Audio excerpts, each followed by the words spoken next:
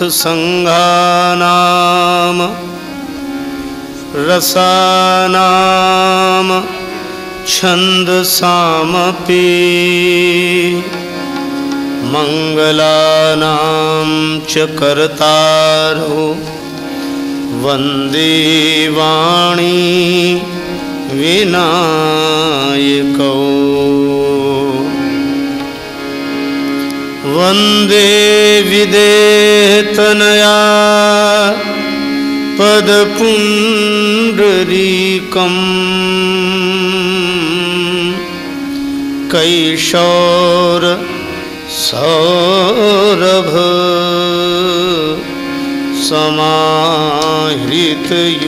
समाहृतयोगिचित्तम्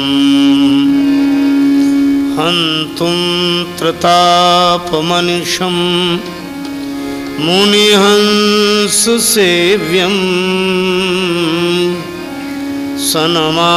सनमानसालि परिपीत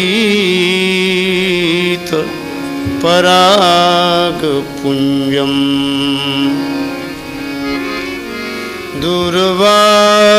दुर्वादलद्युतितनुं तरुणाब्जनेत्रं हेमाम्बरम्बर विभूषणभूषिताङ्गम। कन्दर्पकोटिकमनीय किशोरमूर्तिं पूर्तिं मनोरथभुवाम भज जानकीशम् यत्र यत्र रघुनाथ कीर्तनम्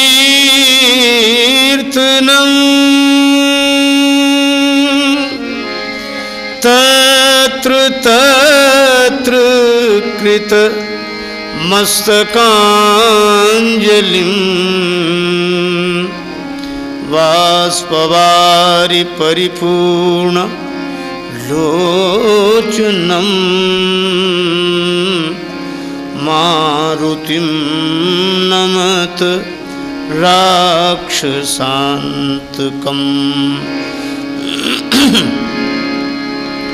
गङ्गातरङ्गरमणीय जटाकलापं गौरी निरन्तरविभूषितवामभागम् नारायणप्रियमनङ्ग मदापहारम्। वाराणसीपुरपतिं भज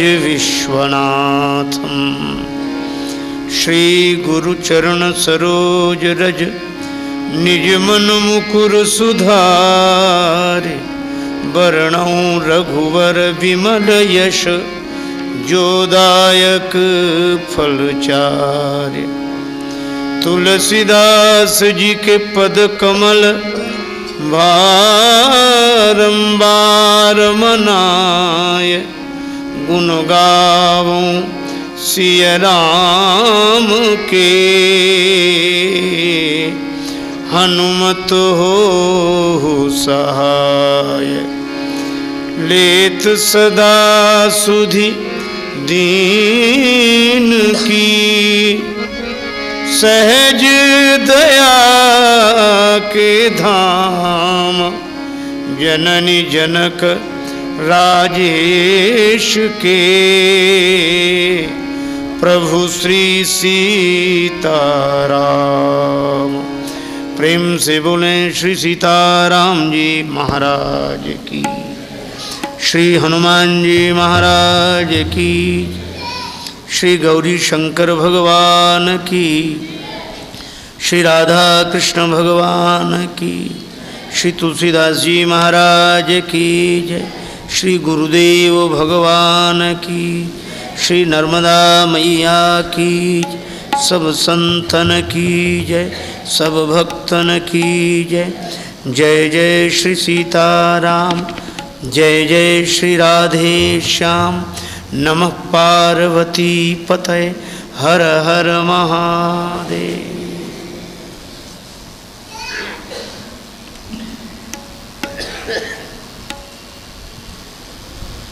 भगवान के अनुग्रह विग्रह पूज्य चरण श्रद्धेय संत महानुभाव, वंदनीय विद्वजन भगवत चरण कमलानुरागी बंधुओं श्रद्धा श्रद्धामयी माताओं। भगवान श्री सीताराम जी की अहित की कृपा से श्री हनुमान जी महाराज की भावमयी उपस्थिति में श्री रामचरित मानस की पावन पंक्ति के आधार पर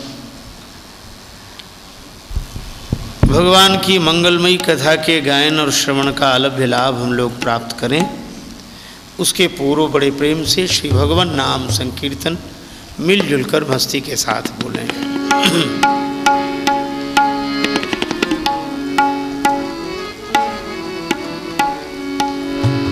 श्री राम जय राम जय जय राम। श्री राम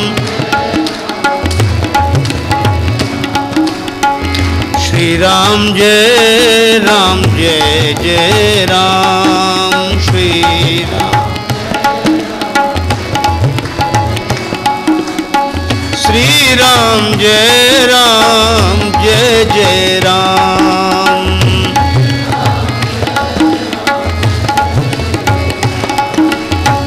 श्री राम जय राम जय जय राम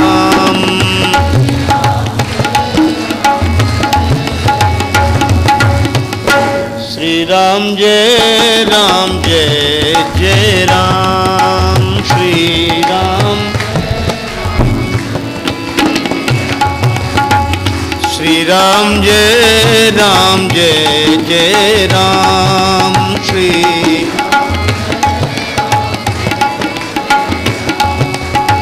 श्री राम जय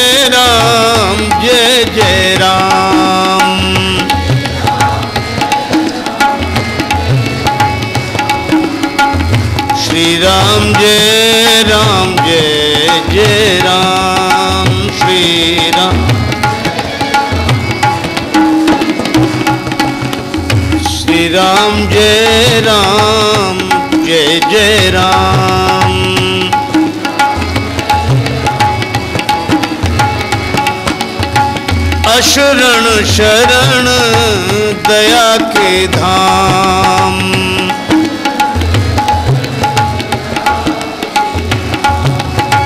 मुझे भरोसा तेरा राम।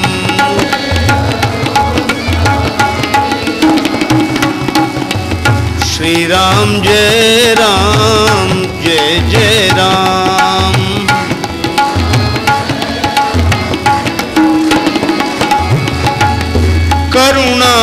कर अपना लो राम करुणा।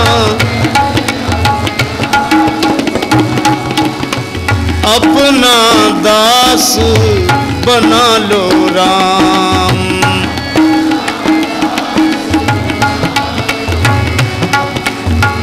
श्री राम जय राम, जय जय राम।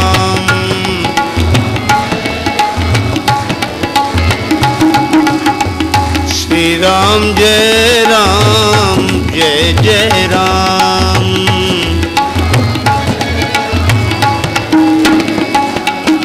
श्री राम, जय राम, जय जय राम। श्री राम, जय राम, जय जय राम, श्री राम। मंगल भवन मंगलहारी द्रव सुदशरथ अजिर बिहारी। श्री राम जय राम, जय जय राम। श्री राम जय राम, जय जय राम। मंगल भवन मंगलहारी उमा सहित जय जपत पुरारी। श्री राम जय राम, जय जय राम। श्री राम जय राम, जय जय राम।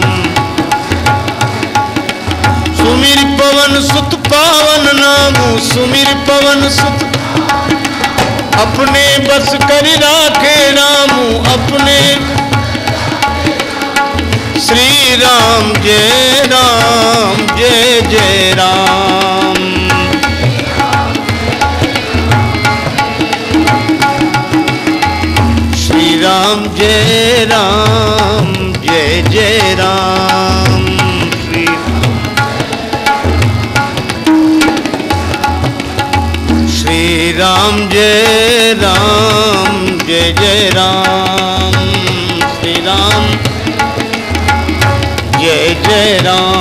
जय जय जय राम जय जय जय जय राम जय राम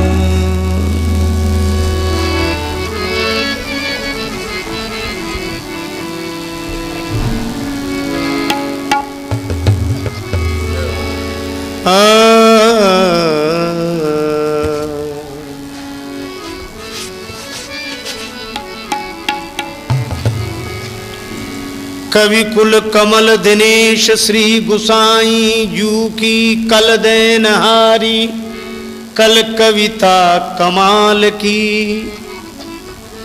बिकल बिहाल जन बाची के निहाल भये, गली नहीं दाल या कराल कलिकाल की। वेदन को ज्ञान है प्रमाण है पुराणन को। ग्रंथ में राजेश राजे, राम नाम मालिकी।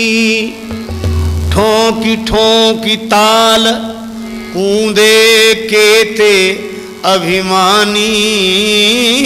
किंतु काहू ने न पाई था। तुलसी के ताल की काहू ने न पाई था। तुलसी के ताल की। ग्रंथ अनमोल है, अपूर्व पूर्व ग्रंथन ते। यद्यपि प्रसंग सब मिलत जुलत हैं, प्रेमी बन नाचे जाचे भक्ति सिय राघव की की। द्रग खोली बाचे, द्रग ही ये के खुलत हैं।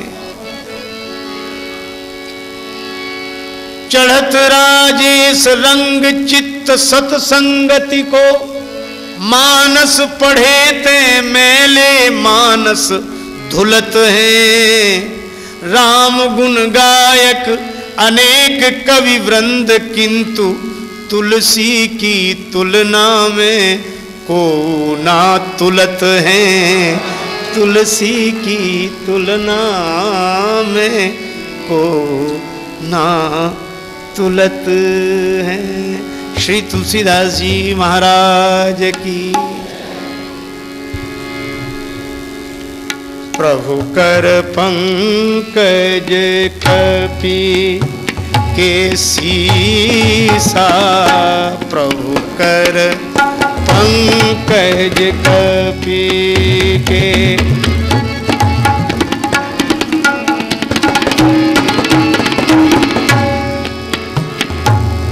सुमिर सुदसा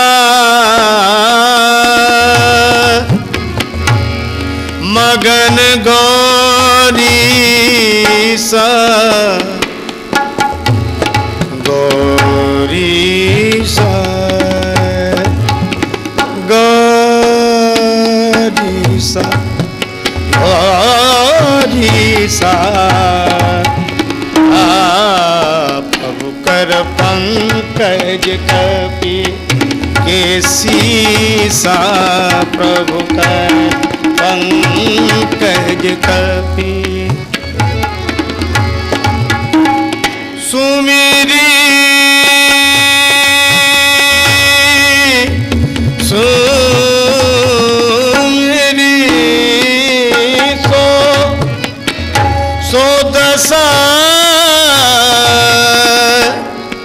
मगन गौरी सा। प्रभु कर पंकज कपि। केसी सा प्रभु कर पंकज कपि के। प्रभु कर पंकज कपि। केसी सा प्रभु कर पंकज कर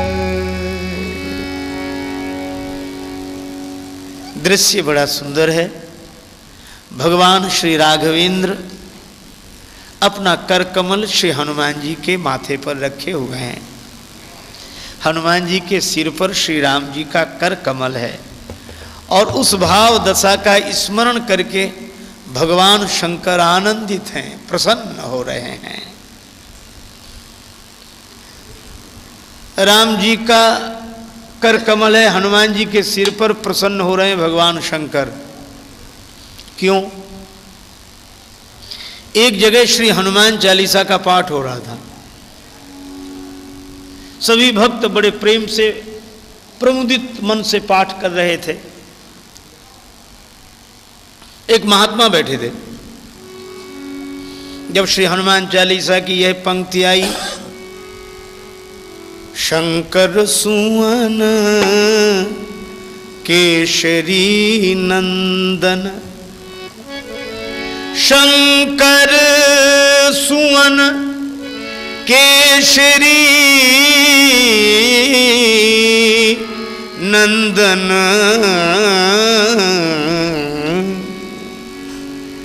एक महात्मा जो बड़े प्रेम से सुन रहे थे, अचानक बोल पड़े, बंद करो बंद करो। या शुद्ध पाठ मत करो। सभी लोग चौंक गए?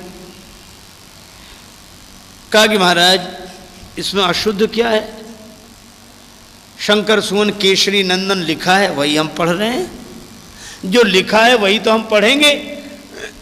पर महात्मा भी अलमस्त संत थे। कबीरदास जी की शैली में बोले, तू कहता कागज़ की लेखी, मैं कहता आखन की देखी। लिखा रहने थे जो लिखा है। पर ये शुद्ध पाठ नहीं है। अच्छा महाराज तो आप बताओ, महात्मा उसी में भाव विवल होते हुए बोले, यह मत कहो कि शंकर सुवन केशरी नंदन का फिर क्या कहे? तो महात्मा बोले, यह कहो, शंकर स्वयं केशरी नंदन। तेज प्रताप महा जगवंदन। यही शरीर रति राम सो। सोयाद रही सुजान, रुद्र देह तजने बस, हरते भे हनुमान। महादेव ही महावीर के रूप में। काशी से ही कीश बनकर आ गए।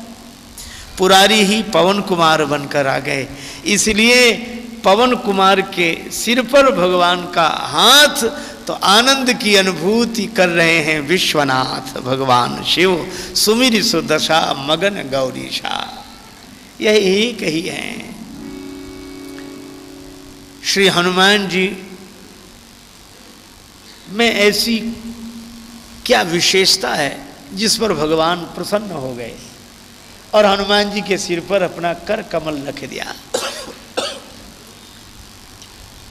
तो हम लोग श्री हनुमान जी की उस यात्रा को देखें, जिस यात्रा में प्रभु ने उन्हें भेजा।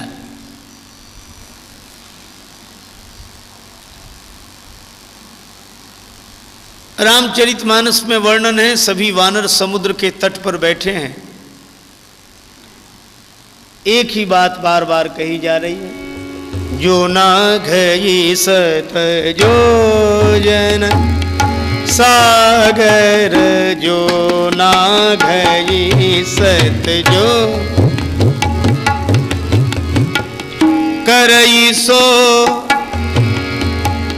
राम काजती आगर। जो ना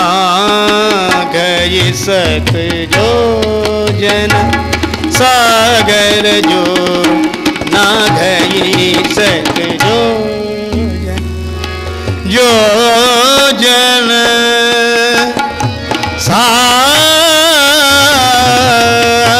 सागर जो ना गई सक जो जो सौ योजन समुद्र का उल्लंघन करे वही सुमति समर्थ व्यक्ति श्री राम जी का कार्य कर सकेगा। अब अपने अपने बल का सबने वर्णन किया।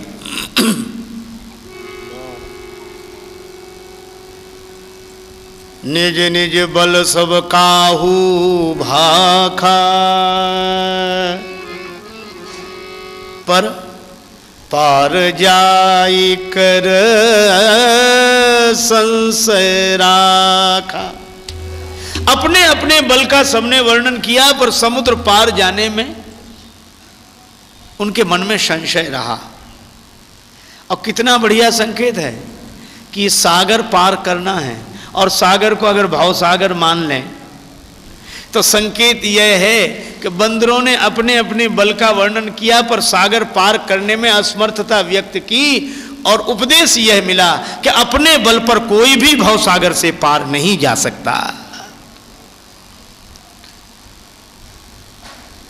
सभी अपने अपने बल का वर्णन कर रहे थे। बंदरों ने सोचा, ज़्यादा से ज़्यादा बताओ। कोई प्रतियोगिता तो होनी नहीं है, बस सौ योजन से कम रहे।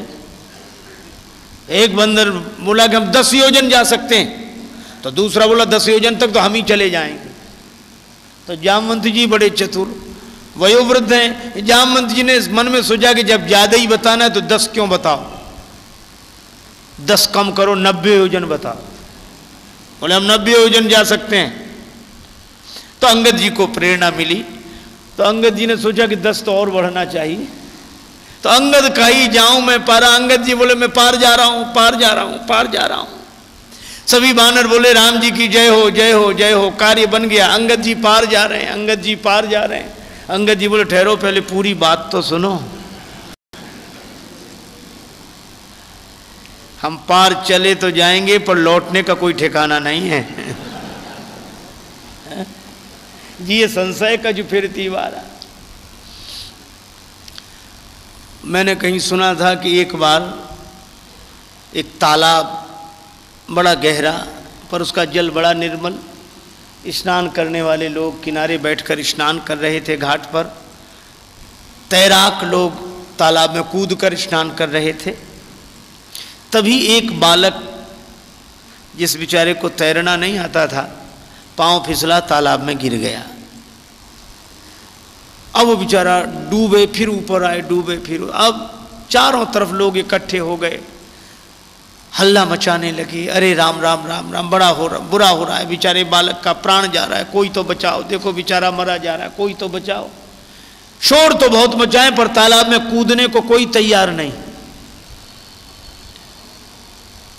और यही होता है। एक शायर ने तो लिखा कि साहिल के तमाशाई, तट पर बैठकर तमाशा देखने वाले, साहिल के तमाशाई हर डूबने वाले पर अफसोस तो करते हैं, इमदाद नहीं करते। अफसोस सब करने, बेचारा डूबा जा रहा, कोई तो बचाओ, कोई तो बचाओ। पर कोई उसे निकालने के लिए तैयार नहीं, तब तक एक नौजवान किसी तरह तालाब में गिरा। उसे दो चार डुबकियाँ लगी, पर उसने बालक का हाथ पकड़ा, किनारे ले आया। लोगों ने कहा, वाह, बहादुर, तूने नौजवानों की लाज रखी। किसी ने कहा, इसको फूल माला पहनाओ। कोई बोला, इसका स्वागत समारोह करो। किसी ने कहा, इसकी शोभा यात्रा निकालो। वो आदमी बोला, ये सब बाद में करना। पहले ये बताओ, हमको धक्का किस आदमी ने मारा था?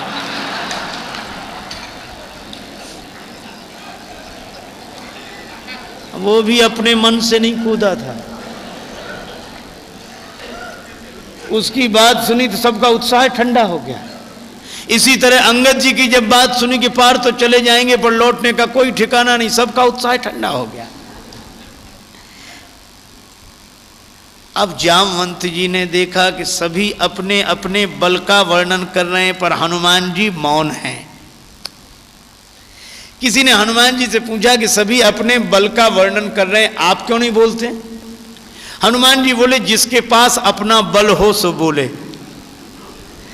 हमारे पास हमारा बल है ही नहीं। तो हम क्यों बोले? पर आपको तो अतुलित बल धामम कहा जाता है। हनुमान जी बोले हाँ यह सही है। पर आप एक बात का विचार करो, अतुलित बल का अर्थ हुआ असीम बल। हनुमान जी बोले, असीम बल तो भगवान का हो सकता है। जीव का बल असीम नहीं हो सकता। कहा फिर कहा कि बात यह है कि अतुलित बल है भगवान का। कैसे मान लें? का एक आदमी बल देखने आया था। कौन? इंद्र का बेटा जयंत। सठ चाहत रघुपति बल देखा और सीख का बाण पीछे लगा। सब जगह मारा मारा भटकता हुआ भाग रहा था। नारद जी की प्रेरणा से राम जी की शरण में आया। प्रभु ने पूछा, क्यों आए थे? बोले, बल देखने। देख लिया? हाँ। राम जी ने ऐसे ही विनोद में पूछ दिया, कितना है बल मुझमें? जयंत ने कहा, अतुलित बल, अतुलित प्रभुताई, मैं मतिमंद जान नहीं पाई। तो ये अतुलित बल है राम जी का। और हनुमान जी बोले, हमने एक काम किया। क्या? जास हृदय आगार बसई राम सर चापधर राम जी को हृदय में बिठा लिया तो राम जी हृदय में बैठ गए, और राम जी का है अतुलित बल। तो राम जी जिसमें बैठ गए, वह हो गया धाम, और अतुलित बल है राम जी का, और धाम है हम, इसलिए अतुलित बल धामम है, उसमें हमारी कोई विशेषता नहीं। यह तो राम जी का अतुलित बल है। अच्छा ठीक है। हनुमान जी बोले, हमारे पास हमारा बल नहीं तो हम क्यों बोले? जामवंत जी समझ गए। तो जामवंत जी ने सोचा कि हनुमान जी को जगाना चाहिए। तो किसी में आम भाव जगाना हो तो प्रशंसा करनी होती है। अब जामवंत जी ने प्रशंसा की। कही रीछ पति सुनु हनुमाना।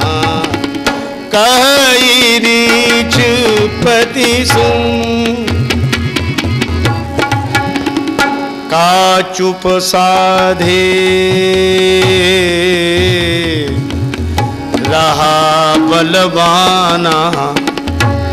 बल बाना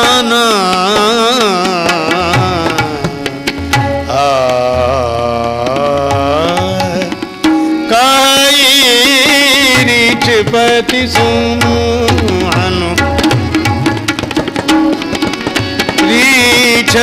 पति सुनु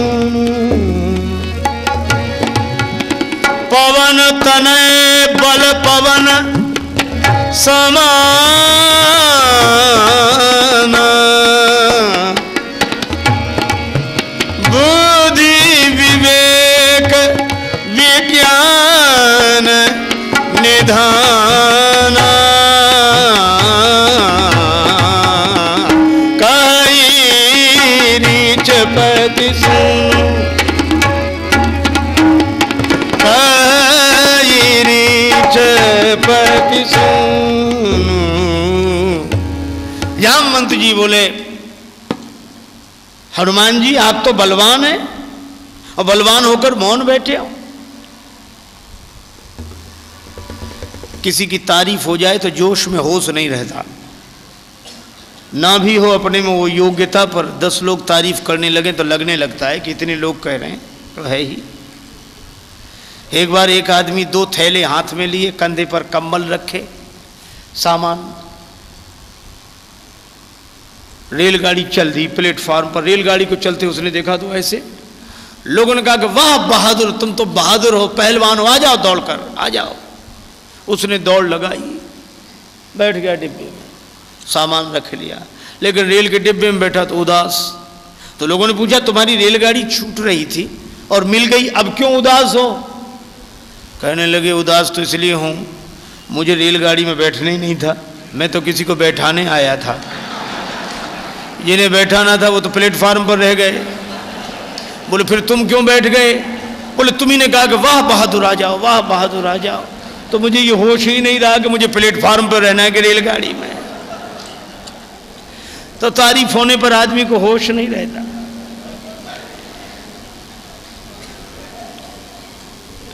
प्रशंसा की मदिरा किसे उन्मत्त नहीं कर देती? होश नहीं रहता। पर हनुमान जी की खूब प्रशंसा की गई। उनको कोई अंतर नहीं पड़ा। क्यों? प्रशंसा सुनकर उन्मत्त वे होते हैं जिनके हृदय में अभिमान बैठा होता है। लेकिन जिनके हृदय में भगवान बैठे हों, वे प्रशंसा सुनकर उन्मत्त नहीं होते। हनुमान जी की प्रशंसा की, आप बड़े बलवान हो। हनुमान जी नहीं उठे। सोचा प्रशंसा कम हुई। का आप ही बलवान नहीं, आपके पिता पवन। बड़े बलवान और आप भी पवन पुत्र हैं तो उन्हीं की तरह बलवान है। बुद्धि विवेक विज्ञान के धाम हैं। हनुमान जी नहीं बोले। देखो, क्यों नहीं बोले? सीधी बात है, जो जिस कमरे में सो रहा हो, उसी कमरे की कुंडी खटखटाओ दरवाजे की तो आदमी जागेगा। और उस कमरे में है ही नहीं तो जागे कैसे? तो हनुमान जी ना तो देह भाव के कमरे में हैं कि जो प्रशंसा की कुंडी खटखटाने से जाग जाएँ।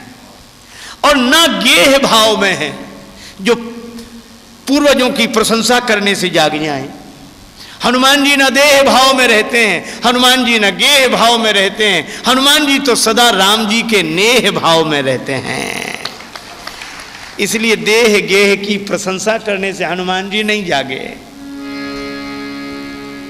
तब जामवंत जी को एक उपाय सूझा। मालूम क्या बोले वे? राम काज लगी था अवतारा राम काज लगी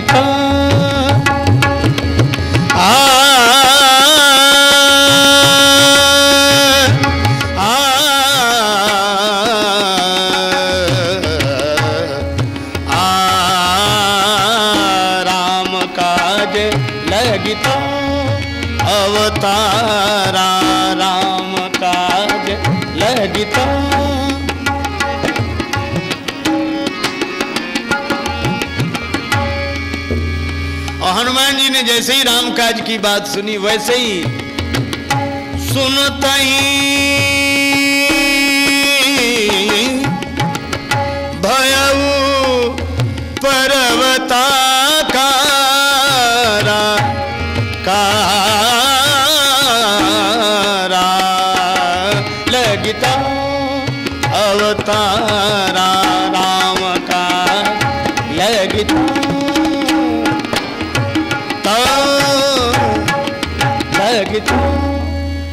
जैसे ही जामवंत जी ने कहा कि वीर बजरंग बली पवन कुमार, तुम्हारा अवतार तो राम काज के लिए हुआ है। और जो राम जी का नाम सुना तो सुनते ही भयऊ पर्वताकारा।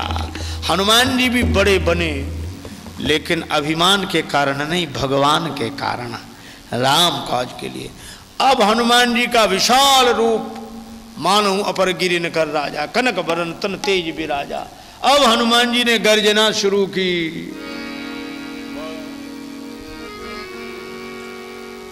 सिंहराद करी बार ही बारा, लीलई घऊ जल निधि खारा सहत सहाय राम नहीं मारी आनो यहाँ त्रकूट उपारी।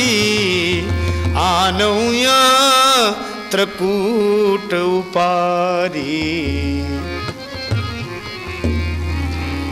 अब हनुमान जी ने गर्जना शुरू की, ये समुद्र तो खेल में लांग जाऊँ। और कहो तो रावण को पूरे दल के साथ साफ़ कराऊं वहीं।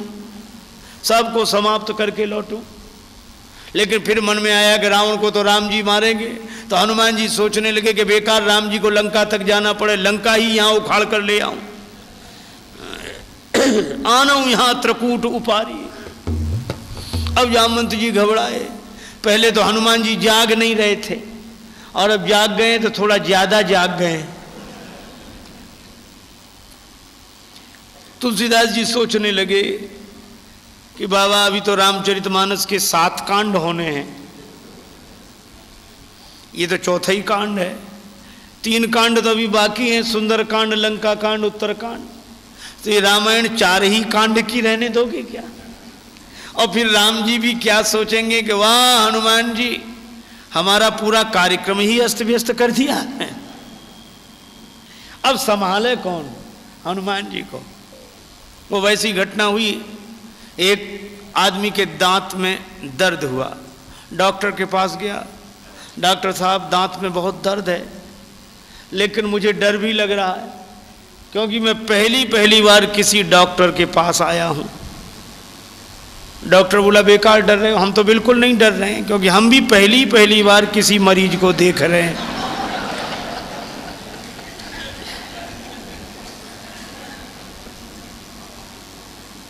तो क्या करोगे? दांत को निकाल देते दांत को उखाड़ कर फेंको, परेशान करता है, दर्द होता है तो। वो तो ठीक है, लेकिन बड़ा दर्द होगा। शायद उस समय शून्य करने की व्यवस्था न रही हो। तो डॉक्टर ने कहा कि थोड़ा कष्ट तो होगा, पर सहन कर लेना। तो ये जो अपार कष्ट हो रहा है, इससे तो मुक्ति मिलेगी। बोला, हिम्मत नहीं होती। तो डॉक्टर ने सोचा कि गलत चीज़ का अच्छा उपयोग किया जाए। डॉक्टर बोला, नशा करते हो? बोला हाँ। डॉक्टर ने अपने सेवक से कहा, व्यवस्था करो, इसको पिलाओ। तो नशे की बेहोशी में दांत निकलवा देगा। पिलाया गया नशा। क्यों? दांत निकलवाने की हिम्मत हुई? तो नशे में बोला भी थोड़ी थोड़ी हुई डॉक्टर बोला, और पिलाओ। जब उसे ज़्यादा पिलाया गया तो डॉक्टर ने पूछा, क्यों? अब तुम्हारे दांत निकलवाने की हिम्मत आई? तो उठकर बैठ गया। अपनी बड़ी बड़ी मूछों पर हाथ घुमाते हुए बोला, देखे अब किसकी हिम्मत है जो हमारे दांत में हाथ लगाता है? पूरा प्रयोजन ही बदल गया। यामंत जी को भी ऐसे ही लग रहा है कि हनुमान जी को थोड़े के लिए जगाया था, ज़्यादा ही जग गए। पर एक बात है, हनुमान जी में जोश तो है, लेकिन बिना होश का जोश नहीं है। बल तो है, पर बल के साथ विवेक है। हनुमान जी को लगा कि हम जोश में ज़्यादा बोल गए तो किससे पूछें? वय का सम्मान वृद्ध का सम्मान। जामवंत में पूछूँ तो ही जामवंत में पूछ। सिखावन दीजे सुमोही उचित सिखावन दीजे सु आ,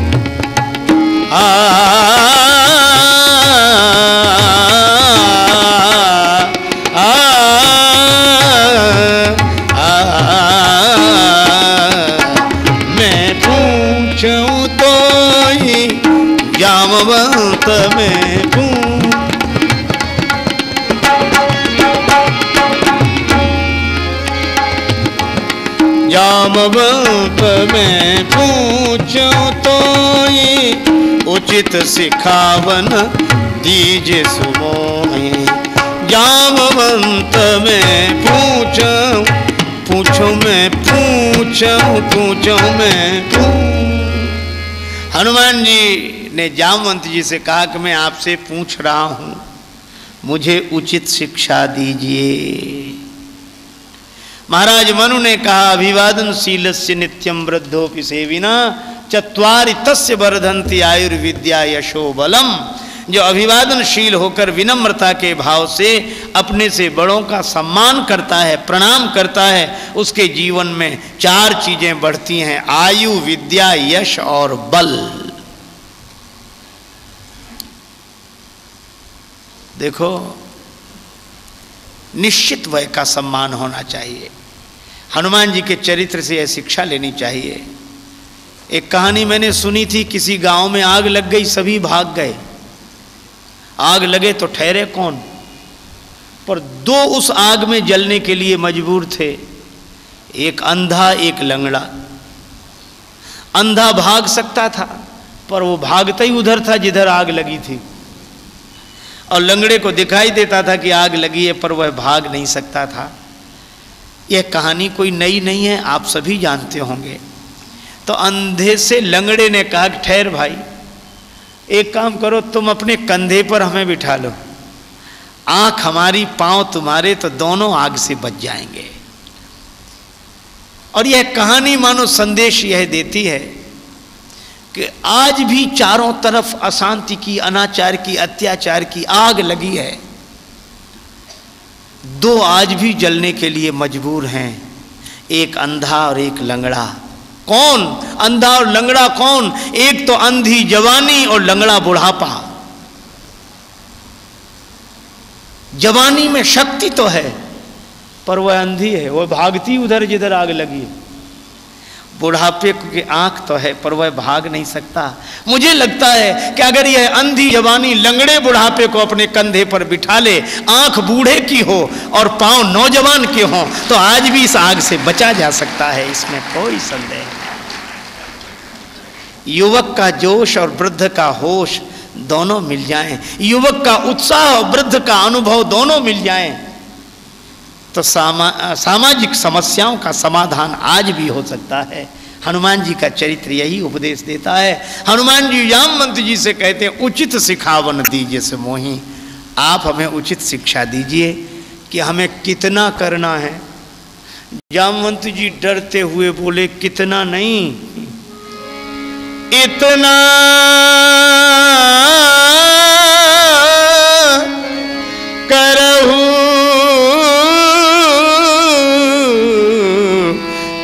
तात तुम जाई।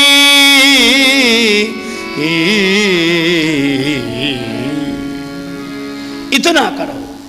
क्योंकि जाम मंत्री जी जानते कि नहीं, इतना बताएँगे तो इतना करके आएँगे। इतना ही करो। और संकेत क्या? मानो जाम मंत्री जी ने कहा कि, हनुमान जी, आप कहते हैं लीला में मैं समुद्र लांग जाऊँगा। आप लांग सकते हैं। लेकिन एक बात याद रखें ये लीला आपकी नहीं है।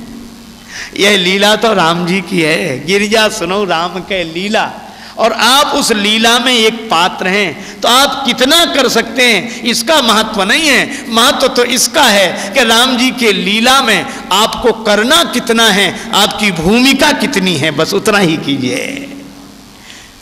और अगर हम लोग भी यही समझें कि सब राम जी की लीला है और हम राम जी की लीला में एक भूमिका लेकर आए हैं, बस उस भूमिका को ही सच्चाई के साथ निभा लें तो फिर भव सागर से पार जाने में कोई संदेह नहीं है। रमा है वही राम, लीला उसी की। रमा है वही राम, ये लीला उसी की, और यही है परम तत्व जय राम जी की। राम जी की लीला है। हनुमान जी बोले तो हमारी भूमिका कितनी है? बोले, बस इतनी।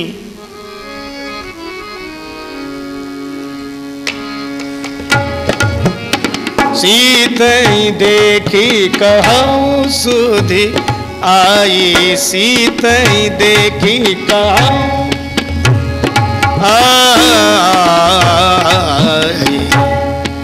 आई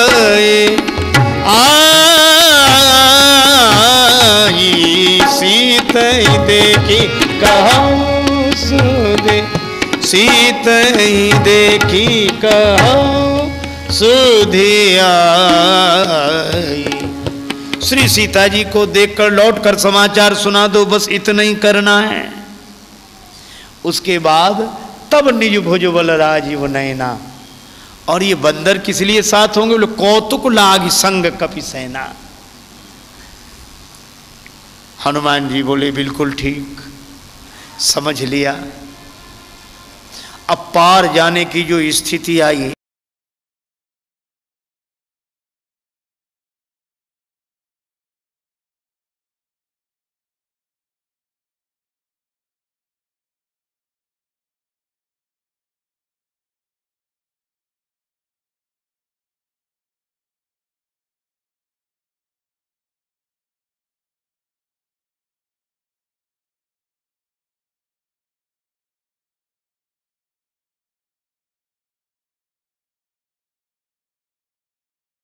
शिक्षा करना, दुख सहन करना, कंदमूल फल का आहार करना, कब तक बोले, जब तक मैं श्री सीता जी का संदेश लेकर न लौटूं। यह हनुमान जी का मनोबल तो देखो।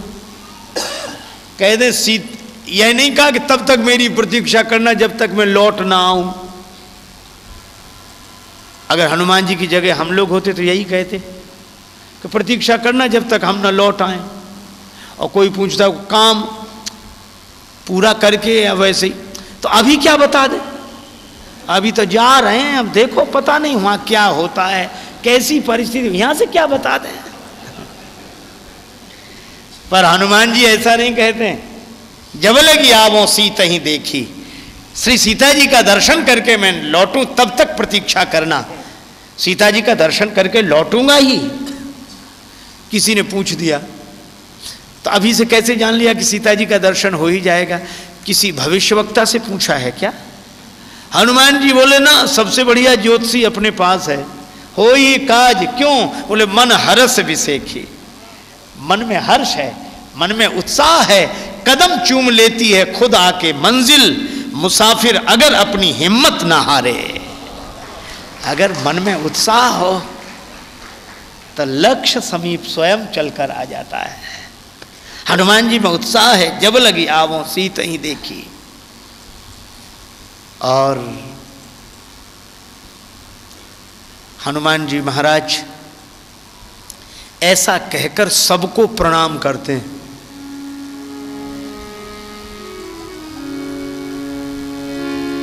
अस कही नाई, सबन को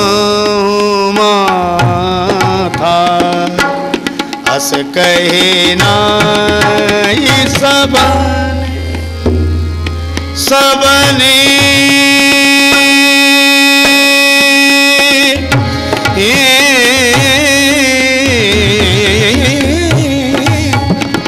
सबने नाई सब कहूँ माथा चले धरी रघुना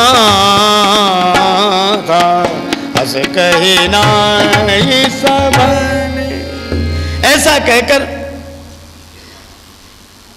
श्री हनुमान जी ने सब बंदरों को प्रणाम किया। सभी बंदरों के आँखों में आँसू आ गए। हनुमान जी, आप समर्थ हैं। हम सब असमर्थ हैं। आप समुद्र पार जाने में समर्थ, हम इसी पार रह रहे हैं क्योंकि असमर्थ हैं। तो हमने यह तो सुना है कि असमर्थ समर्थ को प्रणाम करे, पर यह नहीं सुना कि समर्थ होकर असमर्थ को कोई प्रणाम करे। पर आज देख रहे हैं, आप समर्थ होकर हम असमर्थों को प्रणाम कर रहे हैं। हनुमान जी ने जो बात कही, वो बड़ी अद्भुत। हनुमान जी ने कहा कि ना तो मैं समर्थ हूँ और ना आप असमर्थ। यह तो राम जी की लीला है। फिर बोले, राम जी की लीला में समर्थ असमर्थ की बात नहीं, पार तो तुम में से कोई भी जा सकता है। पर राम जी की लीला में तुम्हें इसी पार रहने का पाठ मिला है, भूमिका मिली है। और मुझे उस पार जाने की भूमिका मिली है, इसमें क्या मेरा अभिमान और क्या आपकी असमर्थता? यह तो राम जी की लीला है। तो जो यह समझ लेता है कि सब राम जी की लीला है, वह निर्द्वंद और आनंद में रहता है। क्या सोचता रे पागल मनुआ, जो बीत गया, सो बीत गया। इस झूठे खेल में मूल्य ही क्या, कोई हार गया कोई जीत गया क्या?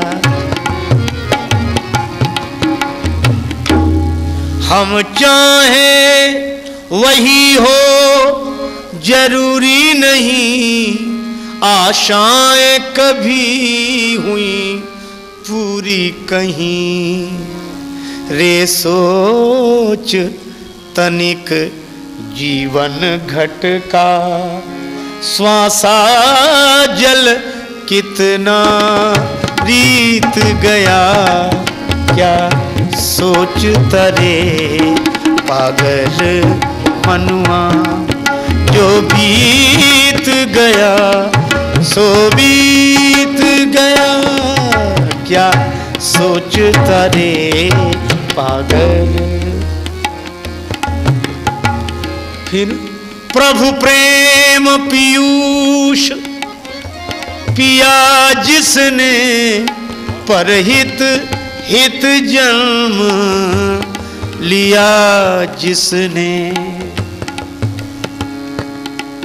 जीवन है वही जो जन जन के मृदु अधरों का बन गीत गया क्या सोच तरे पागल मनुआ। जब सूर्य सा साथी मिलता है, राजेश कमल तब खिलता है। हर साँझ को कहता है पंकज साँझ साँझ साँझ।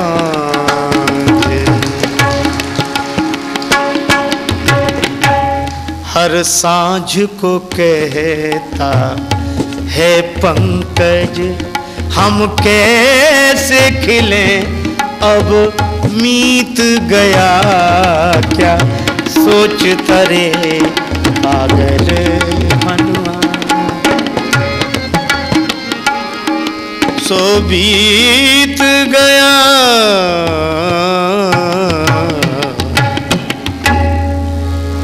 हनुमान जी कहते हैं हमने राम जी की लीला समझ ली, हमारी उधर रहने की भूमिका, आपकी इधर रहने की भूमिका। न हम समर्थ, न तुम असमर्थ, समर्थ तो वे ही भगवान हैं जिनकी यह लीला है। बोलो।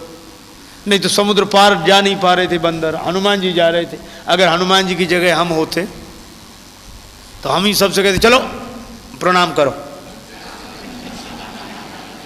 तो कोई नहीं जा सके, हम गए। हम। पता नहीं, आदमी अपने हम को क्या समझता है? एक सज्जन को हमने कहते सुना, बड़े नाराज़ थे किसी दूसरे पर। डांट कर, किससे कहा? हमसे कहा? हमसे? हम हम, हमसे बात करो। हम ये हम ना हो, मानो बम हो गया। क्या है हम? जाने कितने मर गए ये हम हम करके। हम हम। हाँ? तुलसीदास जी कहते हैं कि हम हम हम ही नहीं कर रहे हैं। रावण जैसे हम हम के मर गए। सहस बाहु दस बदन आदि बचे, न काल बली ते हम हम करी धन धाम समारे अंत चले उठ रीते। मन पछतई है, अवसर बीते। हम तुम क्या कितने महारथी इस जग में आकर चले गए, जो जाने को तैयार न थे, पछता पछता कर चले गए। यह हमसे एक मिलता जुलता उर्दू का शब्द बहम। जिनको बहम होता वही हम हम करते हैं। कुछ नहीं है। काहे का हम।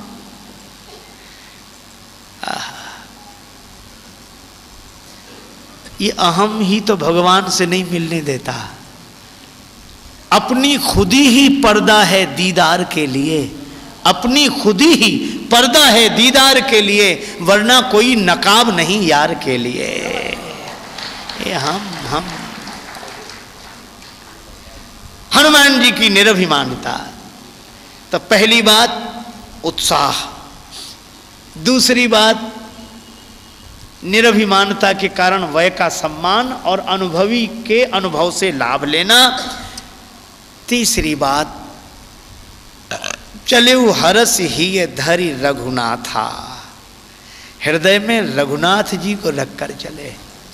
हर्षित होते जा रहे हैं। हनुमान जी बोले, हमें जानकी जी का दर्शन होगा। क्यों? बोले, हम हर्षित होते हुए जा रहे हैं। हो ये काज मोह, हर्ष अभिषेक। ही तो हर्षित होते जा रहे तो जानकी जी मिलेंगी। क्यों?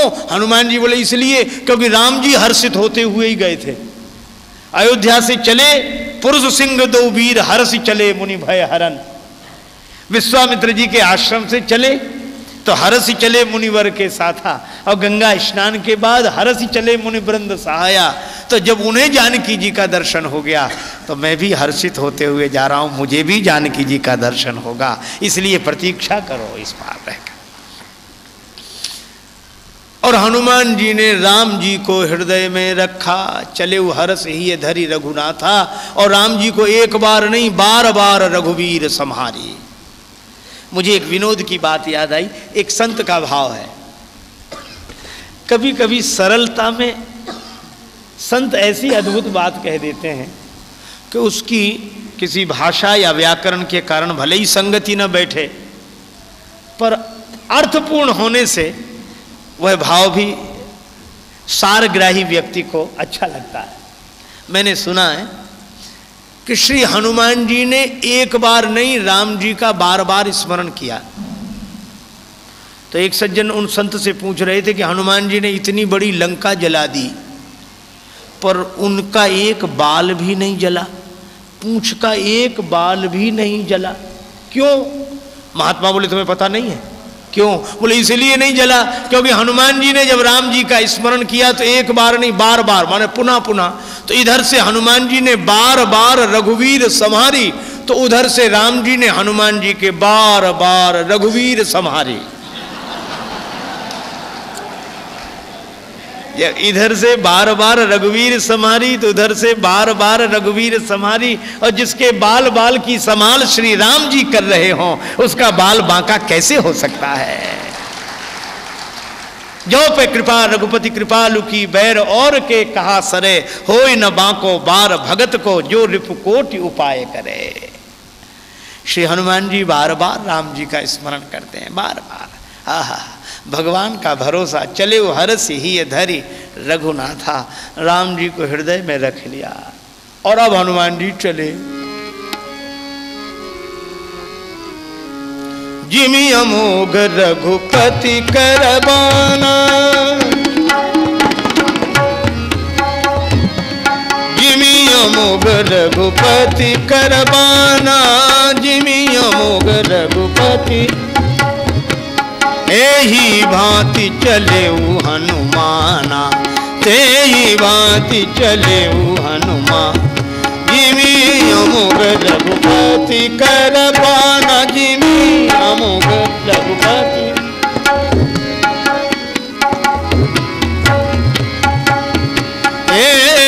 भांति चले अमोघ रघुपति कर जिमि अमोघ रघुपति कर जिमि अमोघ रघुपति करबान। जिमि अमोघ रघुपति अमोघ रघुपति अमोघ रघुपति। हनुमान जी ऐसे चले जैसे राम जी का बाण अमोघ होकर चला हो। बाण की तरह जा रहे हैं हनुमान जी। अब बड़ा सुंदर संकेत मिलता है। समुद्र ने मैनाक पर्वत से कहा, मैनाक स्वर्ण पर्वत है। हनुमान जी जा रहे हैं। जानते हो, ये पवन पुत्र हैं, और मैनाक तुम याद करो, तुम पवन के कारण ही बचे हो। पौराणिक आख्यान है कि इन पर्वतों के पंख होते थे पुराने जमाने में। आप कल्पना करो पर्वतों के पंख हों तो कितनी भयावह स्थिति निर्मित होती होगी। कब किस पर्वत का उड़ने का मन हो जाए? पंख है। अच्छा उड़ने में उतनी दुर्घटना नहीं, उड़ते उड़ते कहाँ बैठने का मन हो जाए? तो ये पर्वत उड़ते, आबादी वाले क्षेत्र में जाकर बैठ जाते हैं। ब्रह्मा जी को बड़ी परेशानी हुई कि हम एक एक करके बनाते हैं या इकट्ठा मिटाते हैं। देवराज इंद्र से कहा तो देवराज इंद्र राजा हैं। उन्होंने वज्र का प्रहार करके इन पर्वतों के पंख काट दिए। कितना बढ़िया संकेत है। राजा का यह दायित्व है कि जो ऊपर उड़ उड़ कर नीचे गिरकर समाज को नष्ट करें। ऐसों के पंख काट देने चाहिए, राजा का दायित्व है। उन्होंने तब से पर्वताचल हो गए, कोई खतरा नहीं। अरे खतरा तो इनके पंखों की वजह से था, पंख काट दो, वे बने रहे, क्या हर्ज है?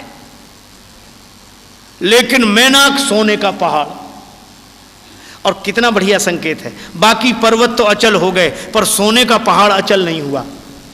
पंख, क्यों? बड़ा सुंदर संकेत है कि चाहे हर कोई अनुभव अपने जीवन में करता हो, हर तरह की संपत्ति अचल होगी, पर यह स्वर्ण अचल नहीं है। आज यहाँ, कल वहाँ, परसों वहाँ। तो इस मैनाक ने कहा कि मुझे बचा लो। तो अब इंद्र से बचने का उपाय क्या? समुद्र से कहा कि तुम्हारे भीतर अथाह गहराई है। मुझे छिपा लो। तुम तो बहुत बड़े हो। बड़प्पन दिखाओ। मुझे छिपा लो अपने भीतर। समुद्र ने कहा, मुझे तो कोई परेशानी नहीं। पर मेरी बाहर वाली लहरें तुम्हें भीतर घुसने दें, तब है। ये लहरें तो बाहर ही हैं और गहराई भीतर है। समुद्र कहता, मुझे कोई दिक्कत नहीं अगर ये बाहर वाली लहरें भीतर आ जाने दें। बड़ों बड़ों के यहाँ यही समस्या है। उनको कोई परेशानी नहीं, पर ये बाहर वाली लहरें नहीं घुसने देती भीतर। बाहर वा... ये बाहर वाले बहुत परेशान करते, जान ही नहीं देते। उन विचारों तक खबर ही नहीं होती। ये बाहर वाले बाहर से ही लौटा देते हैं। यही हर युग का सत्य है। तो समुद्र ने भी वही बात कही कि मुझे कोई आपत्ति नहीं, पर बाहर वाले आ जाने दे भीतर। अब मैनाक आपको लहरें भीतर न जाने दें। तो मैनाक ने पूछा कि उपाय क्या है? कुछ लोगों ने कहा कि पवन से कहो, हवा दबाए इसे, फोर्स डलवाओ इन पर। हाँ। ये बाहर वाले मानते ही तब हैं, जब जमाने की हवा आपके साथ हो जाए। इन पर फोर्स डलवाओ, हवा। हाँ। तो पवन ने जो दबाव डाला तो समुद्र के भीतर मैनाक समा गया, सुरक्षित हो गया। आज समुद्र ने कहा कि मैनाक, जिस पवन के कारण तुम बचे हो, आज उन्हीं पवन के पुत्र जा रहे हैं। हनुमान जी तो यह भारत की संस्कृति, कृतज्ञता की संस्कृति है। जिसने तुम्हारे साथ यह उपकार किया है, उसकी सेवा तुम भी करो। तुम भी करो। एक महात्मा बड़े विनोदी स्वभाव के संत थे, हमसे बोले, कृतज्ञता और कृतज्ञता में अंतर जानते हो? हमने कहा, जानते तो होंगे, पर आप समझाओ तो कोई विशेष बात होगी।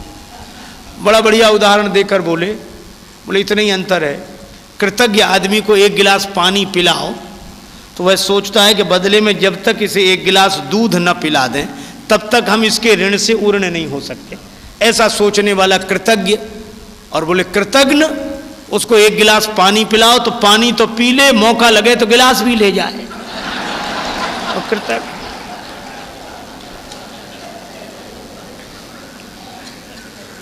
समुद्र ने कहा, कृतज्ञता की संस्कृति ऊपर उठो, हनुमान जी को आश्रय दो। अब सोने का पहाड़ ऊपर उठकर आ गया। बहुत अद्भुत उदाहरण है यह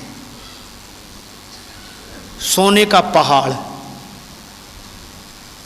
मानो धन का मूर्तिमान रूप। देखा जाए तो धन को लेकर समाज में दो तरह की अतियाँ दिखाई देती हैं। धन को लेकर दो तरह की अति।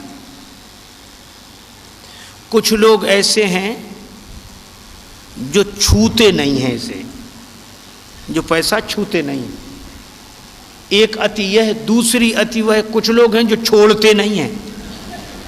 एक छूते नहीं है, दूसरे छोड़ते नहीं। अच्छा सचमुच। लेकिन वे वंदनीय हैं जो नहीं छूते। पर इस नहीं छूने के भी दो स्तर हैं। एक बार क्या हुआ? हम दो चार संत कहीं निमंत्रण में गए किसी के यहाँ। तो गृह स्वामी ने भोजन कराया। और नियम है, भोजन के बाद वाली बात महात्माओं को भी याद रहती है यजमान को भी याद रहती है वो दक्षिणा सबको भोजन के बाद दक्षिणा देने लगा तो जैसे ही दक्षिणा सबको देने लगा तो एक साधक बैठे थे उनको भी उसने दक्षिणा दी नहीं नहीं नहीं, नहीं, नहीं हम छूते तक नहीं ऐसे तो उस आदमी ने बड़ी श्रद्धा से धरती पर सिर रखकर उन्हें प्रणाम किया। हम लोगों को भी बड़ी श्रद्धा हुई कि बड़े त्यागी पुरुष हैं भाई। लेकिन वो आदमी जैसे ही आगे बढ़ा तो जो कह रहे थे हम छूते नहीं हैं। बोले, सुनो, उधर कहाँ जा रहे इधर आओ। कहा कि, वो दक्षिणा। तो बोले, आप तो छूते नहीं हैं। बोले हाँ छूते नहीं हैं। इसमें बाँध दो। इस कपड़े में बाँध दो। तो हमारे एक साथ एक सज्जन थे, बोले, ये तो छूते नहीं हैं। हमने कहा, ये छूते नहीं, ये बांधते हैं। तो बड़े नाराज़ हो गए हमसे। हमारा उपहास करते हो और हम त्यागी हैं। हमने कहा, महाराज, उपहास करना हमारा उद्देश्य नहीं, पर आप कह रहे थे कि हम छूते नहीं हैं। तो बोला हाँ हमने नहीं छुआ, इस कपड़े से बाँध लिया। हमने कहा, जब इस कपड़े से ही छूना था तो इस कपड़े से ही छू लेते क्या हर्ज था? यह भी तो कपड़ा ही है। यह शरीर भी तो कपड़ा है। वासांसी रणानी यथा विहाय नवानि ग्रहणाति नरो पराणी। जिम नूतन पट पहरई, नर पर हरई पुराण। ये कपड़ा ही तो है। है भूत पाँचों का बना, यह वस्त्र सुंदर आपका। बनता बिगड़ता है, यही नहीं, कुछ बिगड़ता आपका। हम बाज़ार जाते हैं तो कपड़े बदल के जाते हैं, घर के अलग कपड़े होते हैं, मंदिर में अलग कपड़े, पूजा के समय अलग कपड़े। जब जब जहाँ आते जाते हैं, कपड़े बदलते हैं तो हम जब जब दुनिया में भी आए, कपड़े बदल बदल के आए। जाते नहीं हैं कोई दुनिया से दूर चल के, हम मिलते हैं सब यहीं पर कपड़े बदल बदल के। हम लोगों ने कपड़े ही बदले हैं। आवागमन के फेर में पगले, कपड़े कई बार हैं बदले।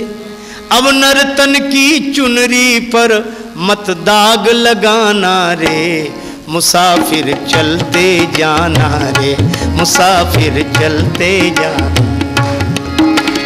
ना अटको, ना भटको ये है देश बिराना रे। मुसाफिर चलते जाना रे। मुसाफिर चलते जाना। देह वासना पास बुलाती भ्रम का फंदा फेंक फंसाती।